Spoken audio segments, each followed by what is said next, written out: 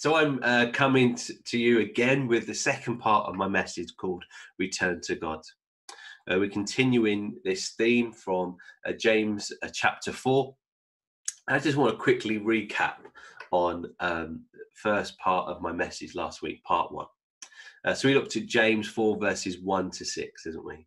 Uh, we looked at how fights and quarrels kind of happen and, and what what's the, the motives behind that and James says it's that evil desires within us. But we, we touched on the, the, effect that it has on us as believers, how it spills out onto our family and our friends and people within church, and uh, actually the negative impact that it has, not only on those going through that situation or those being brought into that situation, but actually what a negative impact that has um, on our witness for Christ. Uh, we looked at our prayer life James says you don't have because you don't ask, you ask amiss.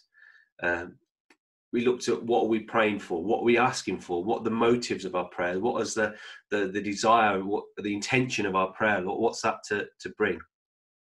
We looked again at the commandment that Jesus gave to love one another. And finally, we've started to look at humility and how important that is in our walk, our daily walk with Jesus.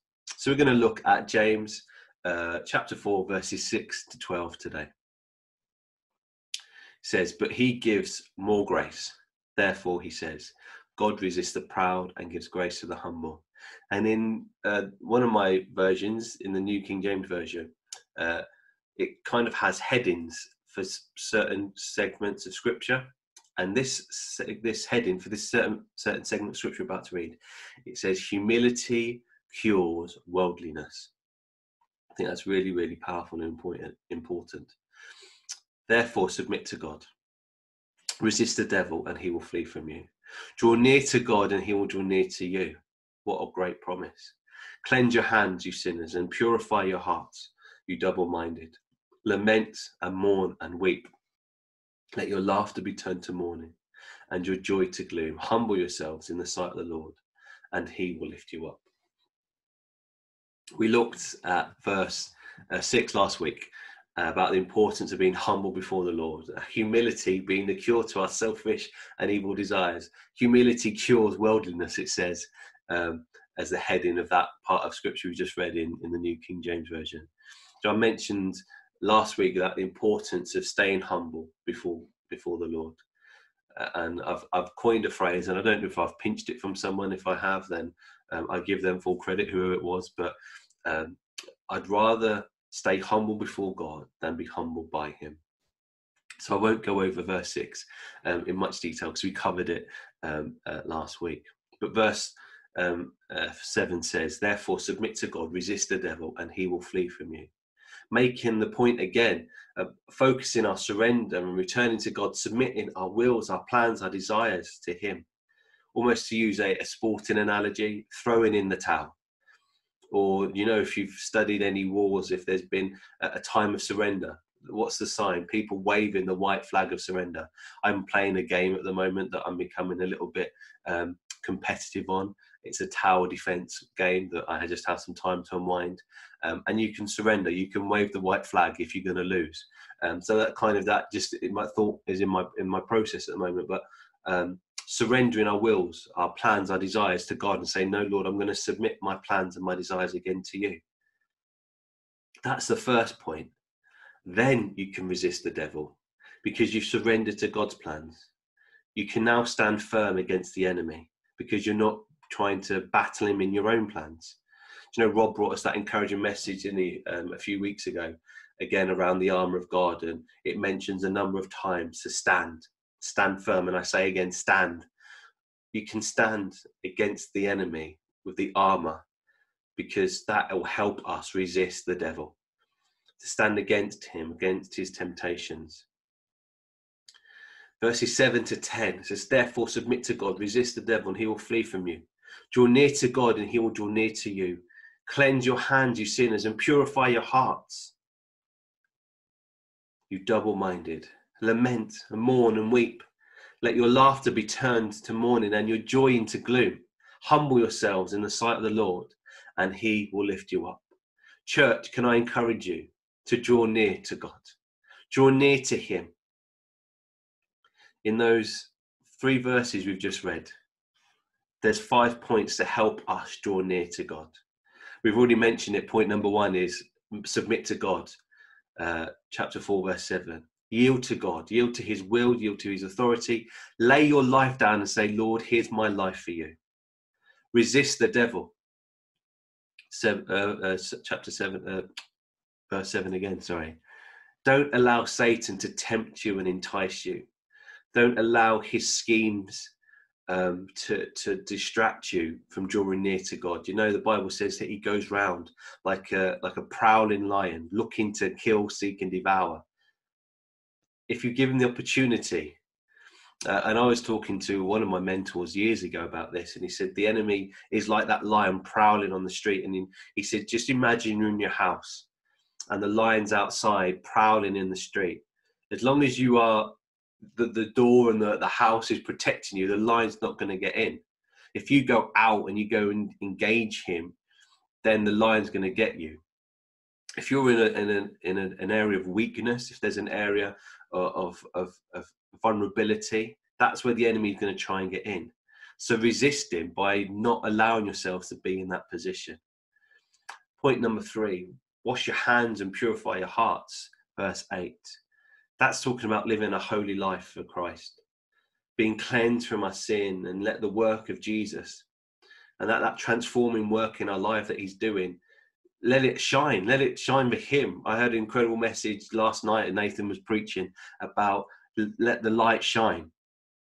But let that light of what Jesus has done in you transform you and let that shine, let that purifying light shine in you. Allow the Holy Spirit to work in your life and replace the evil desires in us and to replace it with a desire to please God. Point number four, and this is a bit of a, a strange one because we're told that he turns our mourning into dancing and our, our sorrow into joy. But James says, grieve, mourn, wail in sincere sorrow for your sins. Verse 9.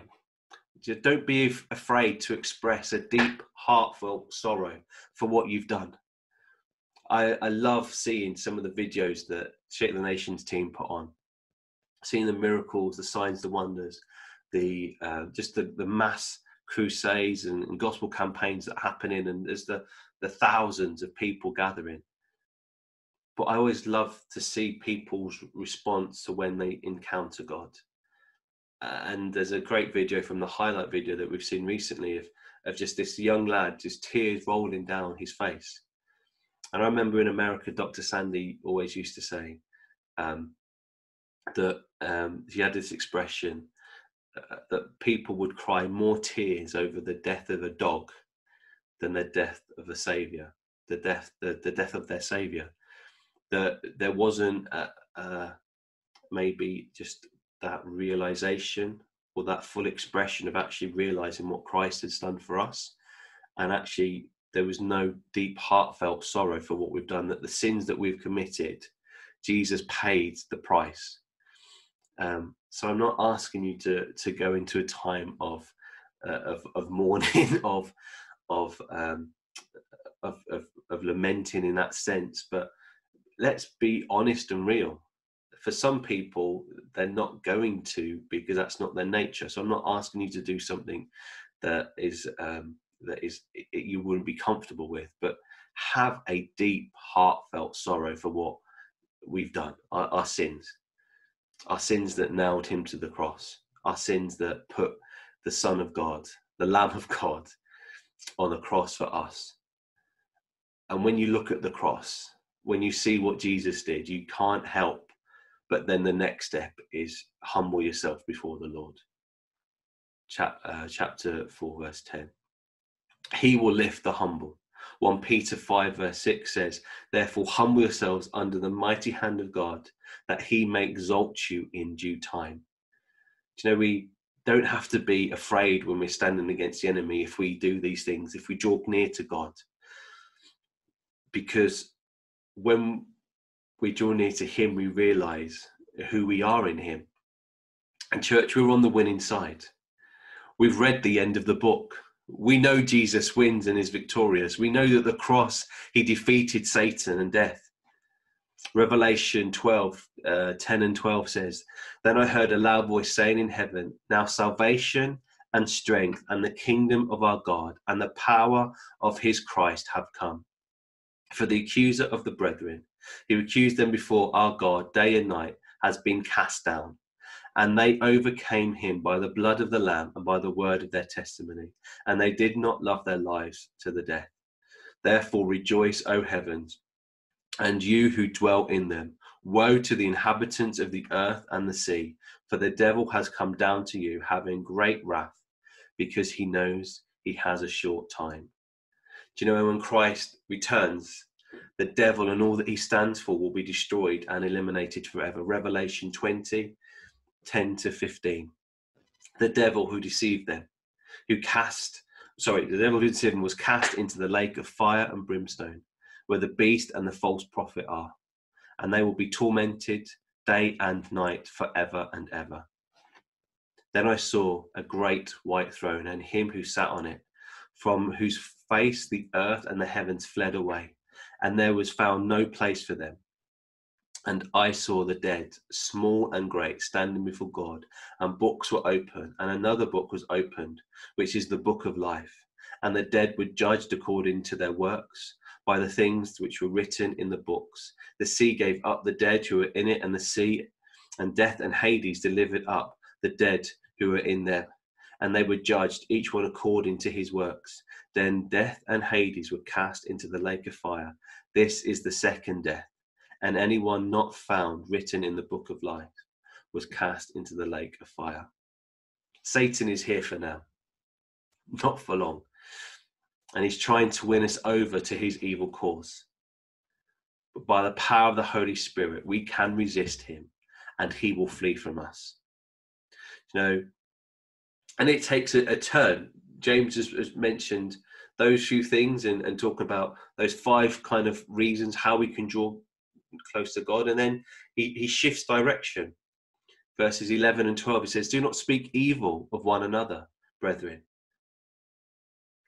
Who speaks evil of a brother and judges his brother speaks evil of the law and judges the law. But if you judge the law, you are not a doer of the law, but a judge. There is one lawgiver who is able to save and to destroy. Who are you to judge another? And you know, James hits the nail on the head. Uh, we've worked our way through through the, the last few chapters, and we worked our way through chapter three and the, the power of the tongue and taming the tongue. And he talks about um, out of the same tongue that is, which is poisonous, which is like a fire, which is set on fire from from hell, and yet you you bless your God in one mouth with the same mouth and then out of the same mouth you curse? How can that be? And he, he talks about the great damage that that can cause. And that reminds us not to speak evil of one another. We've just looked at those fights and those quarrels amongst you. And and and we we we it starts, doesn't it, with, with our mouths. It starts with our tongue. It starts with the, the words that we say. And you know, it's so hard. And I'm being really honest and open with you keeping that right attitude and not speaking evil of others when they've spoken evil of you is difficult. You know, the Apostle Paul writes in 2 Corinthians 12 20, For I'm afraid that when I come, I might I may not find you as I want you to be. Uh, and you may not find me as you want me to be. I love his honesty there. I fear that there may be discord, jealousy, fits of rage, selfish ambition, slander gossip, arrogance, and disorder. Church, that's why we need the Holy Spirit working in us. You know, it's so hard managing my emotions and reactions to things that happen in church.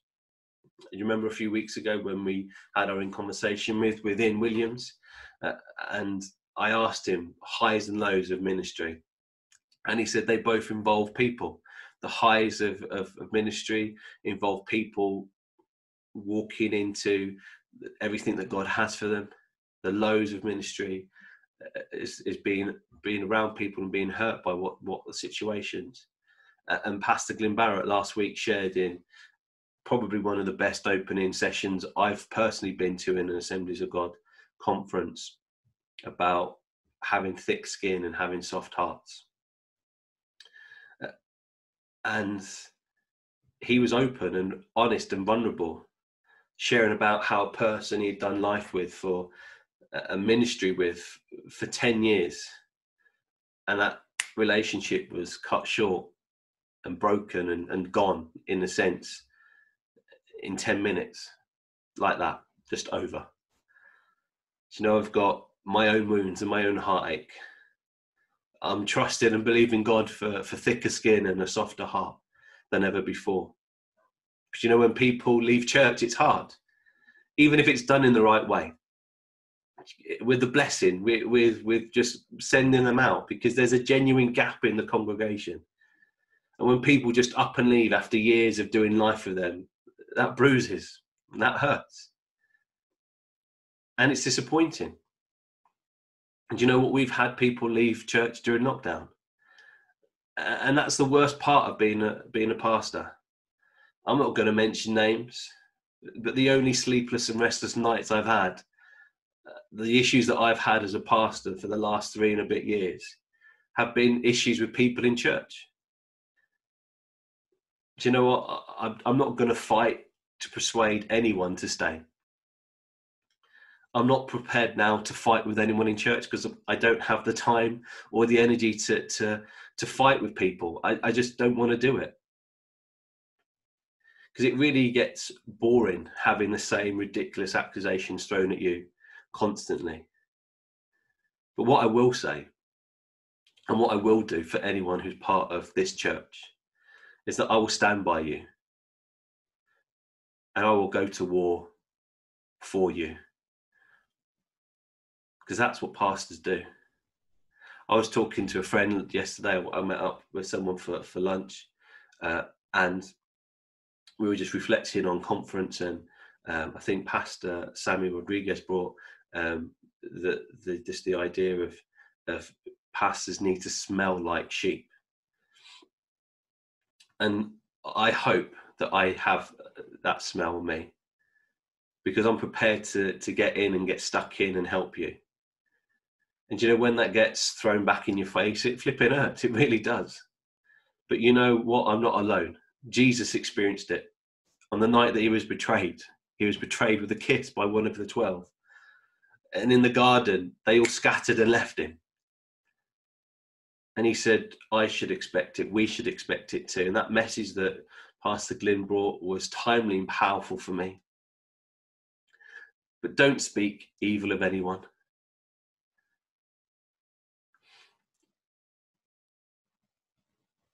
And then you don't do what comes next. Once you speak evil of them you start to judge them. And who are we to think it acceptable to judge anyone. Who made us judge? No one is the answer. There is one judge, and he judges all. We've just read it in Revelation. Who am I to judge my neighbor? Who are you to judge your neighbor? Instead of judging them, here's an idea why not bless them for a, for a change? Why not, instead of speaking evil over them, speak something affirmative over them? Why not pray for them? Why not speak to them? Why not minister to them? Jesus said, Matthew 7, verses 1 and 2 Do not judge, for you too will be judged. For in the same way you judge others, you will be judged, and with the measure that you use, it will be measured to you. Jesus also says in Matthew 5 30, uh, 43 to 48 You've heard it, it was said, Love your neighbor and hate your enemy. But I tell you, love your enemies and pray for those who persecute you, that you may be children of your Father in heaven. He causes the sun to rise on the evil and the good, and sends rain on the righteous and the unrighteous. If you love those who love you, what reward will you get? Are not even tax collectors doing that? And if you greet only your own people, what are you doing more than others? Do not even pagans do that. Be perfect, therefore, just as your heavenly Father is perfect. Do you know God has given us the ministry of reconciliation? 2 Corinthians 5, verses 11 to 21. The Apostle Paul is writing to the church. And he says, Since then, we know what is to what is to fear the Lord. We try to persuade others. What we are is plain to God, and I hope it is also plain to your conscience.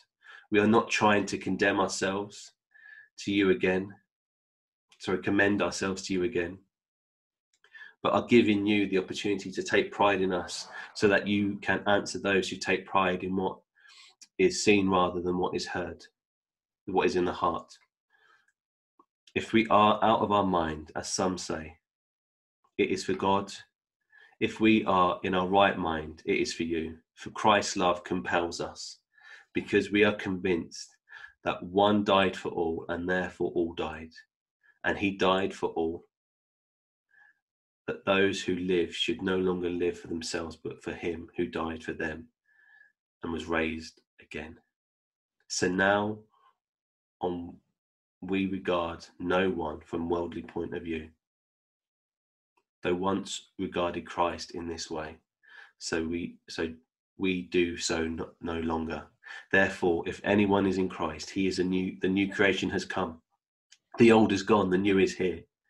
All this is from God, who reconciled us to himself through Christ and gave us the ministry of reconciliation, that God was reconciling the world to himself in Christ, not counting people's sins against them, and he has committed to us a message of reconciliation.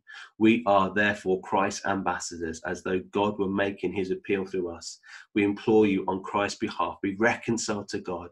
God made him who had no sin to be sin for us, that in him we might become the righteousness of God. That's our ministry, church. Love our enemies. Love them enough to pray for them. Love them enough to lead them into relationship with Christ. Why? Because Christ has given us the ministry of reconciliation because he's reconciled us to himself through Christ our Lord.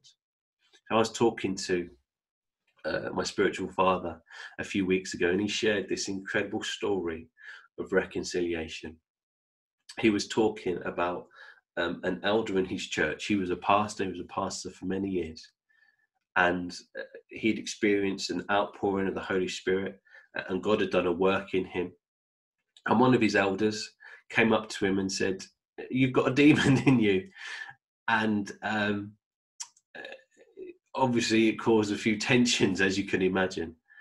Um, this elder moved away uh, about an hour's drive from from where uh, he was a pastor of the church, and time had gone by and about five years after this, this this this statement was made, and the elder had left the church and resigned and, and left. Um, he got a phone call out of the blue from this guy, and says, "I, I need to come and see you. I, I can't sleep. I'm restless. I, I, need to come and see you. Can I come and see you?" he said, "Yeah, I'm I'm, I'm here. I'll, I'll I'll I'll see you soon." So he made the journey an hour's drive to go and see him. And, uh, and uh, he's, he's wrestling all of these things inside of him. What's he going to say? How's he going to respond? What's he going to do? And he said, he came in up the stairs and into his office and they embraced and they hugged and they talked and they shared and there was tears that came from both sets of eyes and there was reconciliation and there was forgiveness and there was a moving on from that situation. Because God has given us the ministry of reconciliation to love not only our neighbors but to love our enemies. And that's what Jesus did on the cross for those who may be watching who haven't experienced him or, or, or, or have a relationship with him at the moment. He died he took on sin. We've just read it in 2 Corinthians that he that the one that had no sin took on sin for us, that we could be reconciled to God. The Bible says that God loves you. That the whole theme of the Bible is that God loves you. He's madly, passionately in love with you. But sin has entered in. From Genesis when Adam and Eve fell in the garden, sin has entered into to mankind and we've talked about the evil desires and those evil desires just are just funneling sin out of us. But jesus paid the price that you wouldn't have to be separated from god. The bible says that sin separates us from god. Jesus took on sin that we could be reconciled that we could be reconnected back to god he died upon a cross. Three days later, he rose again victorious. What are you going to do with that information? How are you going to respond to Christ? I'm going to pray and pray a prayer now. And if you pray this prayer with me, get in contact with us. Contact us at prayer.thestorehouse at gmail.com. We've got a Bible for you. We'd love to connect to you um, and help you on your journey. But pray this prayer after me. Dear Lord Jesus, I thank you that you died in my place. I thank you that you died for me, that you loved me enough to die for me, that you took my sin and my shame. Lord, I repent of my sin. I ask you for your forgiveness. Wash me in your blood. Fill me with your Holy Spirit and let me live for you all the days of my life. In Jesus' mighty name. Amen. Amen.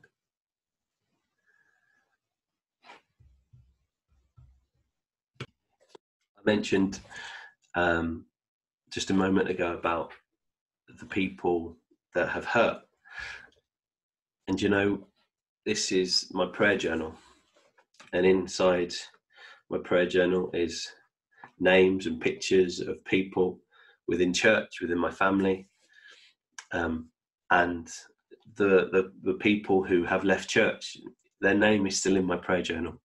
Why? Because I still am praying for them. I'm still praying that God would bless them, would use them, would speak to them, would, would move in their situations.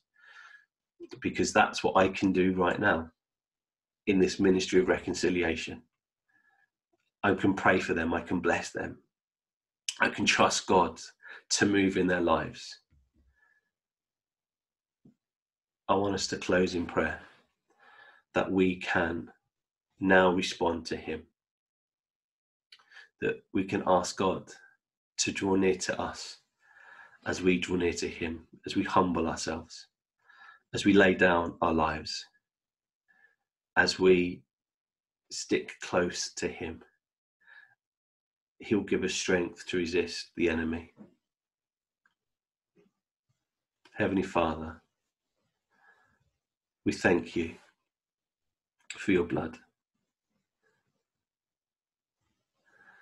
Lord Jesus, the blood that you shed upon a cross that washes us clean.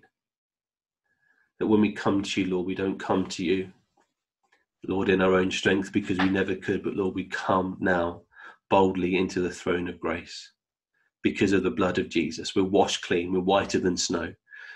Lord, you've taken off our filthy rags of sin and you've clothed us with, with, with, with garments of righteousness, with, with robes of righteousness, Lord.